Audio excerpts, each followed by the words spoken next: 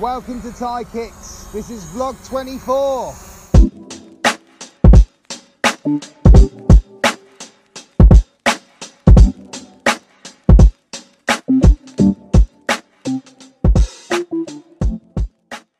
This week, the weather has been all over the place. It looks like it's going to rain. It doesn't look particularly great. This week's vlog is going to be a bit more practical. We're going to go to the gym.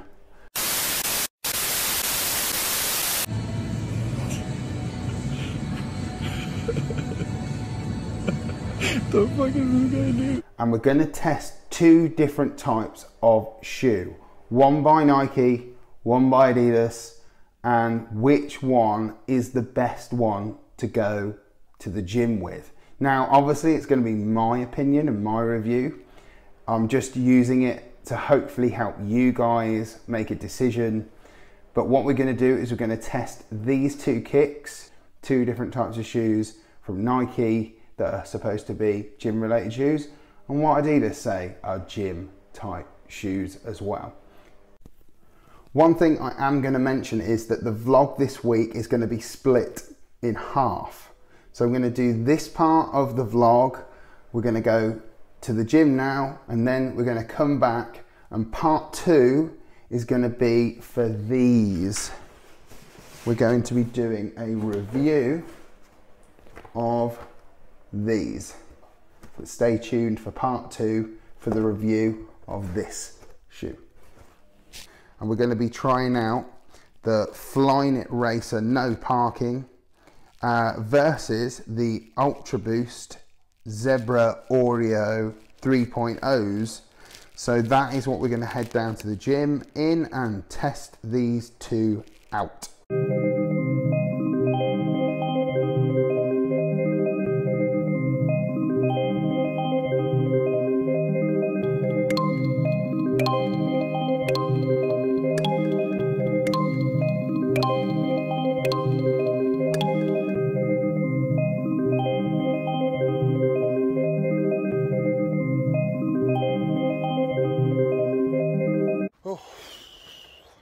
Started. I'm knackered.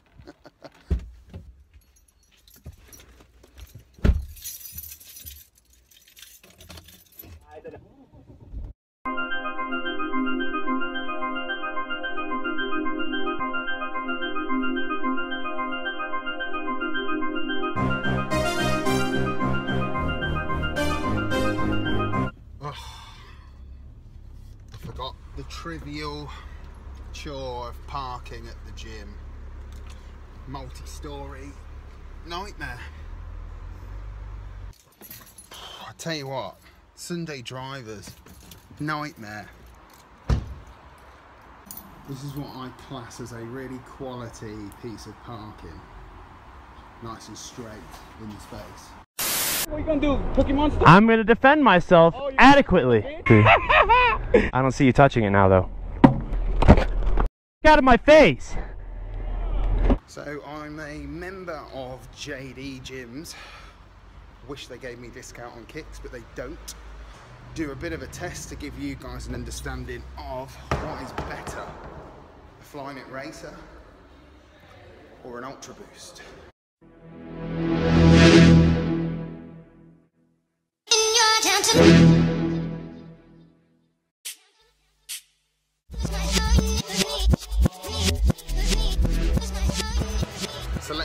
Um, just fill you in on how I'm going to do the test. So at the beginning of my gym session, I always do about 10 minutes of low intensity cardio, and I'm going to do it with these, the Ultra Boosts, to start with, and um, see how we get on with that.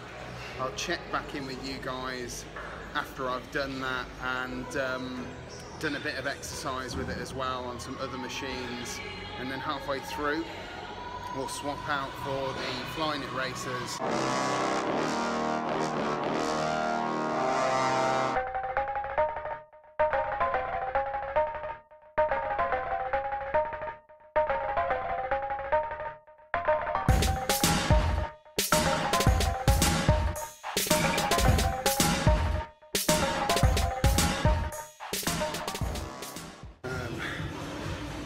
Basically I'm going to start doing a little bit of back work and I'm going to do some triceps and biceps today. So that is the plan.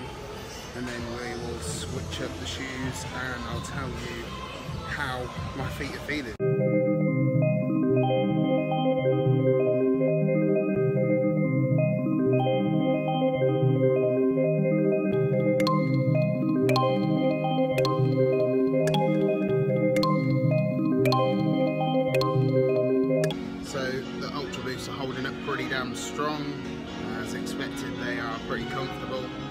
Said, when I was doing kind of rows, I did feel a little bit of instability because the boot's so squidgy.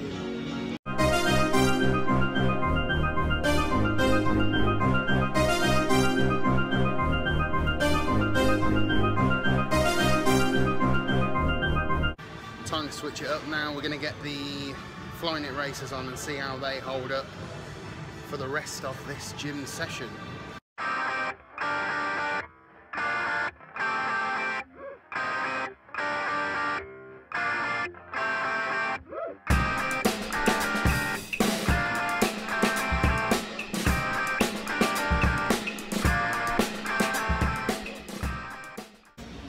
Haven't said is if you're quite used to wearing uh, Ultra Boost and you've never tried a Flyknit Racer before, it doesn't have obviously the same kind of uh, cushioning as the Boost material.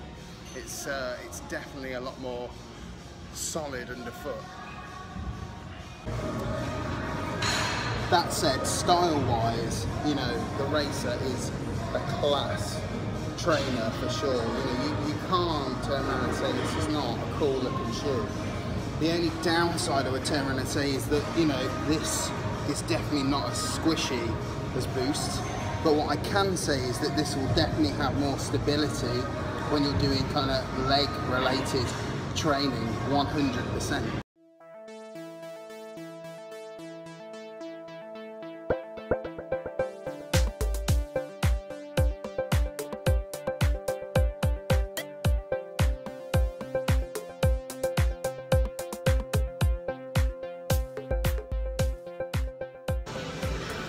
Being on the stepper for over 15 minutes, which I know is not a long time, I've started to realise that the comfort level in the Racer is a lot different to the Ultra Boost.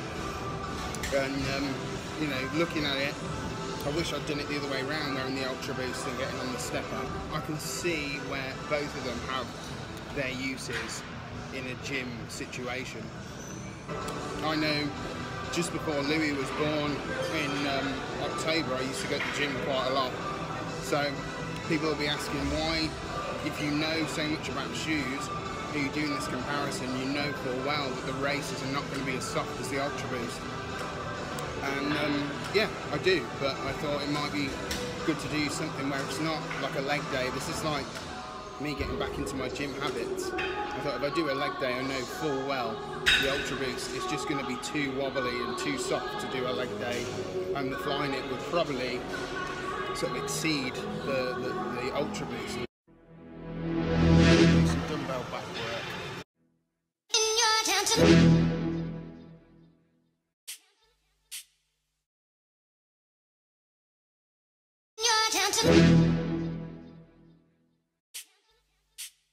Do a bit of cardio, stretch out, and we're going to move on out of here. You're getting way too big for your boots. You're never too big for the boot. I got the big size toes on my feet. Your face ain't big for my boot.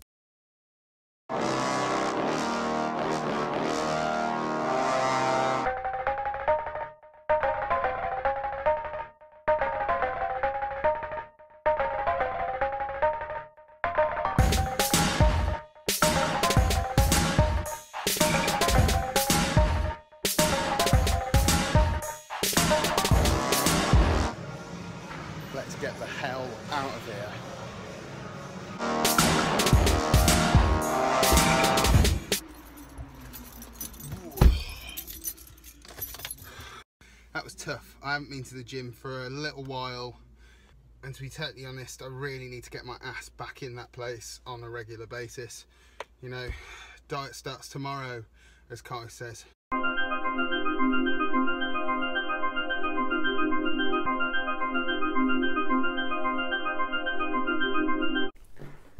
So we're back, we're washed and showered, and we can now get into or which one should you kind of be choosing to hit the gym with.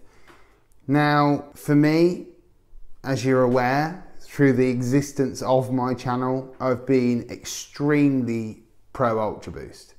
That said, before I did my channel, I loved Flyknit. Flyknit for me was the original knit material. And when I had the University Reds, which you may have seen in a previous vlog, I just wore them to death. I wore them everywhere. I absolutely love them. Now, one of the big things about these two shoes for me is that they were originally produced for sportswear, for gym or outdoor activities, running, etc. But what I'm now noticing, and as the market kind of changes and how fashion kind of changes, is that these are fashion shoes as well. They can double up as both.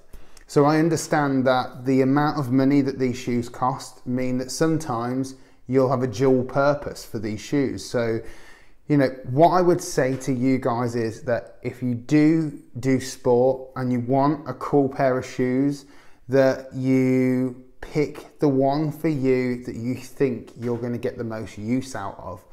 I decided to do this review about the gym because I thought it would be really, really interesting. I've seen so many different people wearing so many different types of footwear at my local gym. Um, I thought it would be quite good to do a comparison of both for comfort and style, but also for, for functionality. And I suppose in some ways, as you will have seen, the Ultra Boost is probably the best for comfort and maybe even style all round. It's definitely one for the cardio kind of sessions that you do, or if you're going to do classes. There isn't anything more comfortable than Boost. Um, I'm going to be honest, I understand the Flyknits have no air, but this is serious comfort and the cage gives you that stability through the, the midsection. I think that this is probably the best all-round shoe. If you're going to be doing anything static, leg training, anything which means that you have to put something through your legs in terms of like strain, the Flyknit wins because it's just got a way more sturdy sole. The sole on this shoe is squidgy enough to, to be able to sort of give it a little bit of give, but sturdy enough to really kind of be um, good for any of those kind of power movements through your legs. And looks wise, it looks pretty sick. So we can definitely agree that this isn't the most comfortable shoe. This is definitely the most comfortable shoe. And this is definitely, this is the lighter shoe, 100%. Whereas uh, the Ultra Boost, the boost's a lot heavier. The sole's a lot lighter on this and the amount of boost that's in this shoe makes this a weightier shoe. Doesn't mean it's a heavy shoe, but definitely heavier than the Flyknit Racer. So, which one do you choose? Only you can decide which one is right for you. Are you looking for lightweight, sturdy, stable sole? You go for the racer. Are you looking for something with a bit of spring, a bit of cushioning, and that slipper type feel? You go for the Ultra Boost. I can't make that decision for you. You have to make that for yourself. Write in the comments section below which one you would choose if you had the choice and why. I'd really appreciate it if you write down there. Don't forget to like the vlog. I really appreciate you liking and please, please go on, hit that subscribe button, follow Ty Kix and how it's progressing. Everyone that's been following me has been great so far. Don't forget, the giveaway is still rolling for the Crep Wipes. You can enter the competition by writing in the comment section below, I love Crep and liking the vlog and subscribing to be entered in to win those. The draw will end at the end of March. So you've got a couple more vlogs before the competition is drawn. but get your entries in now. This was part one of the vlog. Part two is coming up. We'll be reviewing this, the mystery Nike box. What will I be unboxing? Watch the next part of this week's vlog to find out what this is. Take care.